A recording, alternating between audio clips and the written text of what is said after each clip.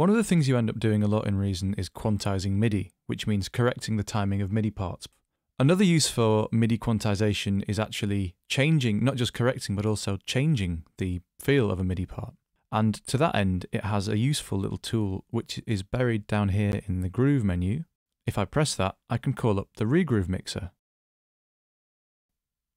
We'll look at this in more detail later, but essentially what it does is it allows you to route any MIDI tracks from the sequencer using this little Regroove assignment menu here to the Regroove Mixer.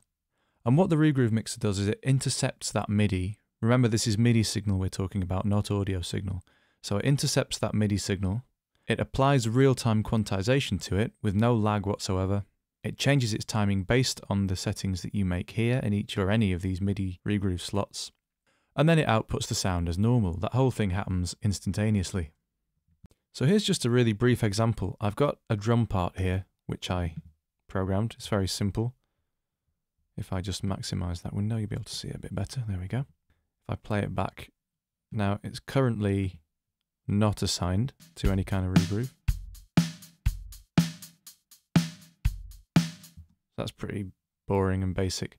It's also slightly out of time. Now I could just quantize it as normal by going to the edit menu and choosing quantize, which would quantize it based on the settings found inside the tool window quantize section. Here. But rather than doing that, I'll just undo that. I could route it to my regroove channel and choose one of these presets. So let's just see how that works.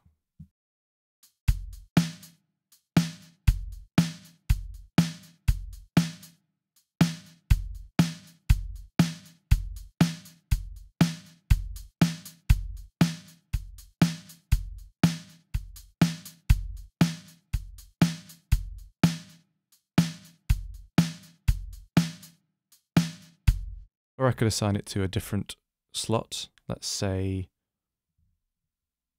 number four. I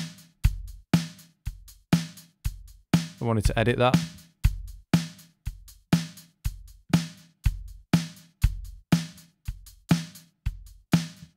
It's probably too much, so I'll give it a bit less. Introduce some random timing.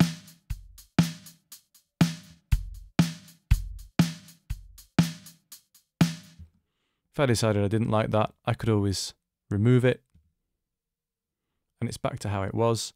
And I might then want to press Apple or Command K to just snap it into more regular time.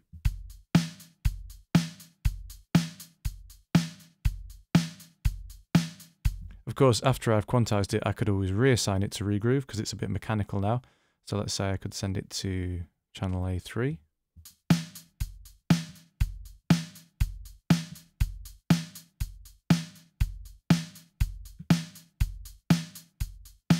Enable it.